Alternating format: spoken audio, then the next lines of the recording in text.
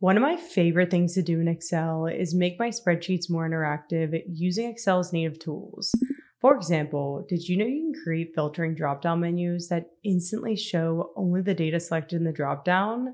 Well, in this video, I'm going to show you how to do this in just two simple steps. Let's get started.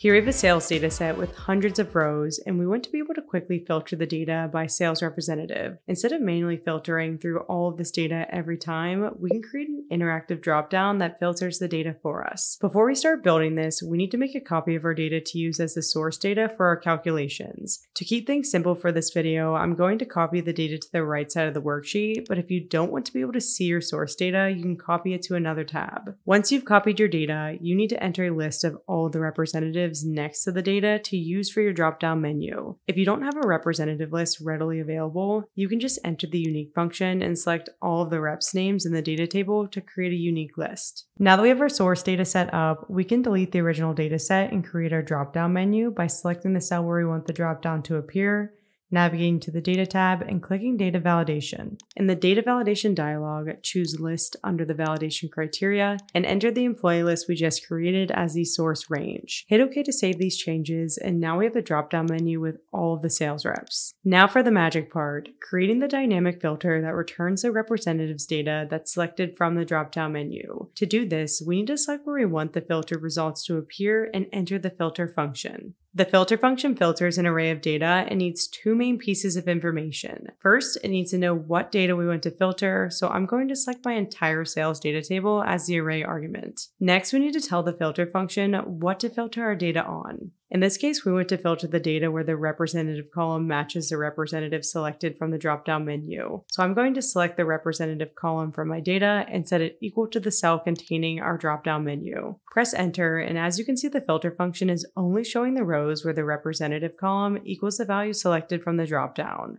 The best part about this data is that it's completely dynamic. So if I select Emma Chip from the dropdown, the table instantly updates to show Emma's sales only. If I switch to Mike James, it immediately shows just his data instead. How cool is that? This is so much faster than using traditional filter toggles and looks way more professional. To wrap up, we covered how to create dynamic filtering dropdown menus using Excel dropdowns in the filter function. Your boss is definitely going to be impressed when you show up with this instead of manually filtering data every time. If you found this video helpful, make sure to subscribe to our channel for more Excel tips and tricks.